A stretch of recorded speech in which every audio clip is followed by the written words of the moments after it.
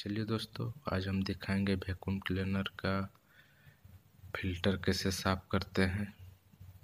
चलिए इसको बटन को पुश करके इसको खोलिएगा, निकल जाएगा। देखिए देखिए कितना कचरा है। चलिए इस फ़िल्टर को कैसे साफ़ करें वो हम दिखाएँगे। इसको आप घुमा के खोलिएगा। लॉक दिया हुआ है दो गो, खुल जाएगा। देखिए, ये जाली है और अंदर वाला फ़िल्टर है। इसको भी घुमाइएगा तो निकल जाएगा। देखिए, इस तरह घुमा के। देखिए, निकल गया। देखिए,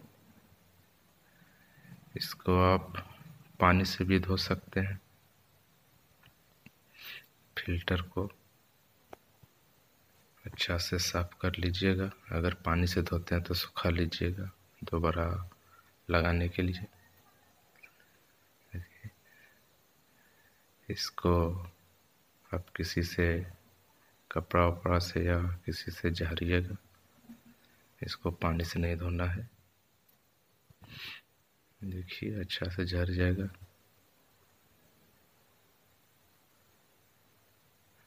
फ़िल्टर को भी अच्छा से जार लीजिए।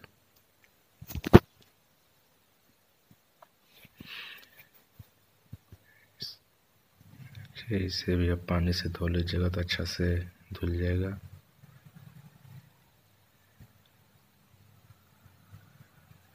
देखिए, अब जिस तरह खोले उसी तरह लग जाएगा।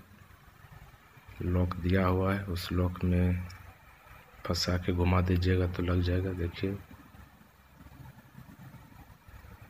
तीन तरफ़ दिया हुआ है।